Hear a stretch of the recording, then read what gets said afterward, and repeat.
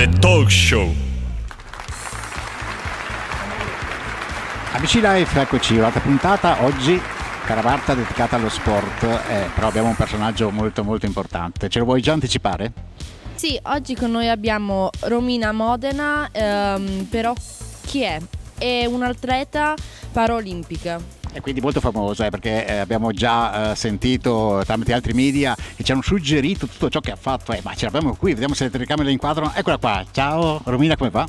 Buongiorno a tutti, grazie per l'invito. Bene, direi bene, a me va molto bene. È bene che per noi perché ci sei e noi ti aspettavamo, eh, una campionessa importante così.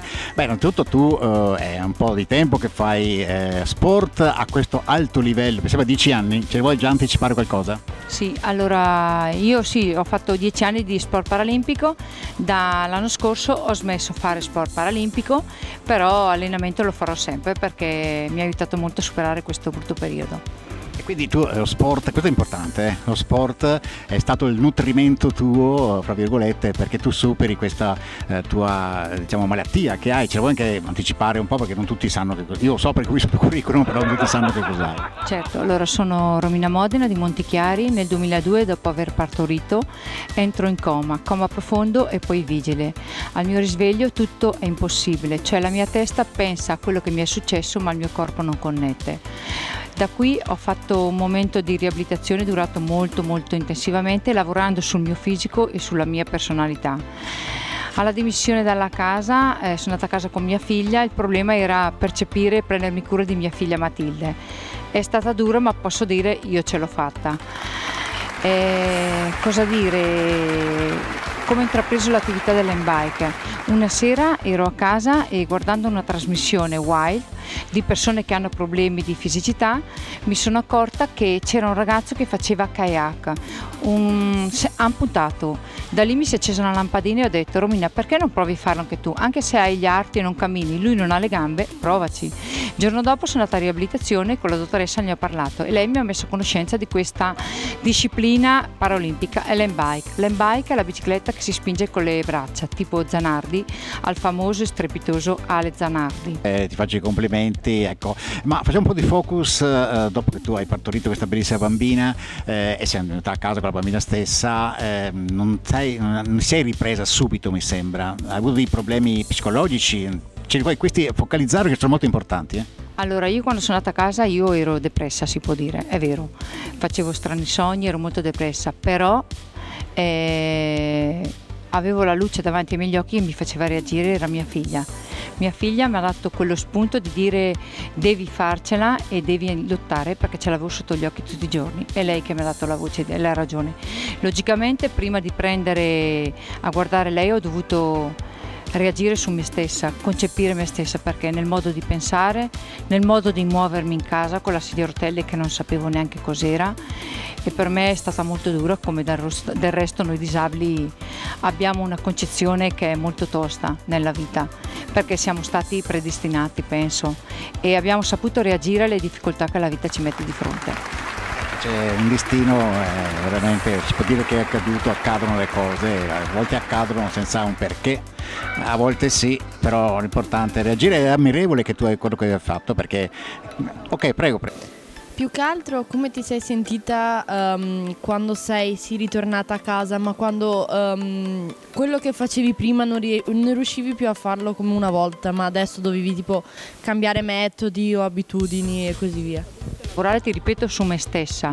E ho cambiato il modo di farli, perché lavare i piatti li lavo. E l'unica cosa che non posso fare è giocare a pallone, però in bici ci vado nuotare posso farlo. È il modo e la concezione del tempo che mi è aumentata, quello sì, perché se prima ci mettevo 10 minuti adesso ce ne metto 5. A fare la spesa ci vado. Faccio comunque la vita da disabile seduta, ma vivo la vita perché questo è molto importante viverla. Ci sono persone che si pongono dei problemi come lo facevo anch'io una volta, per delle cose molto inutili. E invece consiglio a tante persone di andare negli ospedali, vedere le persone che veramente stanno male, perché quando una persona sta male, con un dolore che te la trovi di fronte, dici quanto è meno doloroso il mio. È questo che ti dà la forza di reagire. E questo è vero, è una cosa molto importante ed è ammirevole eh, sia le tue condizioni e chi è come te, perché ce ne sono altri ancora che hanno saputo reagire anche tramite lo sport. Ma poi vediamo un po' anche lo sport, io mi sono preso un po' degli appunti così, eh, quindi tu hai ricevuto diversi titoli importanti, campionessa italiana, detto prima, di linea e crono, campionessa europea. Ecco, parlaci un po' campionessa europea, quindi c'era eh, tutta l'Europa, il mondo intero, ah, non solo l'Europa, il mondo? Ecco, descrivici un po' queste emozioni. Eh, campionessa europea, eh, diciamo che nell'Embai devi fare i passi un po' alla volta, campionessa provinciale, regionale, campionessa italiana e poi mettendoci sempre determinazione, forza e coraggio arrivano anche i risultati. Ho fatto un percorso di 7-8 gare in giro per l'Europa e mi sono classificata prima battendo diverse persone. Ecco, è stata molto dura perché lì i, i parametri sono molto alti e vedi il mondo intero praticamente. È stato molto bello però paragonarsi con altre persone persone a livello fisico ma anche a livello mentale perché per me lo, so, lo, sport dà una solidarietà e capisce anche il mondo di persone degli altri paesi.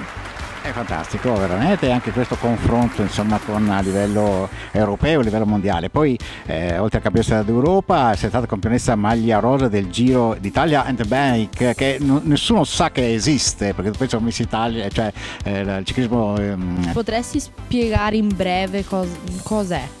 Allora, il Giro d'Italia in Bai Maglia Rosa è un giro che fanno 8-9 tappe in tutta Italia e diverse ogni settimana, ogni, ogni, mese di solito fanno una località e noi facciamo questa gara a livello proprio in centro, si dipende dai chilometri, quanti chilometri fai, dipende dalla velocità che uno fa.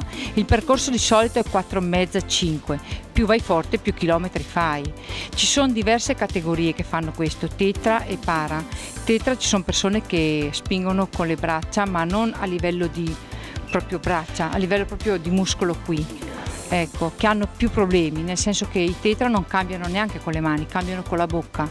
È ancora più duro. Allora... Spiegaci un po' questo fattore perché è una cosa molto curiosa. Cioè cambiano con la bocca? Sì, allora ci sono due categorie, para e tetra. Io sono para, nel senso che io tra l'altro ho la possibilità anche di stare in piedi e fare qualche passo.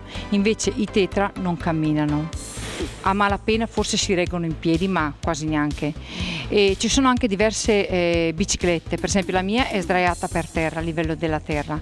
Altre sono sedute. Poi ci sono gli amputati che invece come Zanardi pedalano con le gambe sotto il sedere.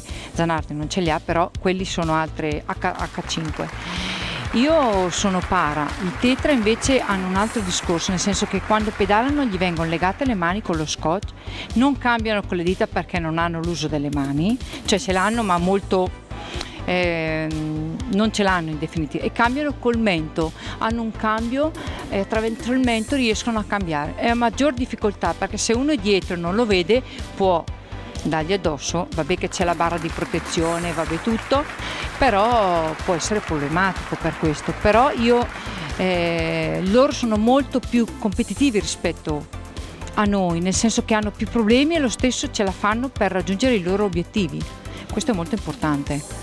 Molto importante veramente. Quello è molto importante, soprattutto. Poi tra di noi basta uno sguardo e ci capiamo, come gli animali, noi ci capiamo. Come lo sguardo capisce tutto. La nostra forza è il sorriso. Quando vedi in giro invece le persone manco ti sorridono e manco ti salutano, però ti salutano su Facebook.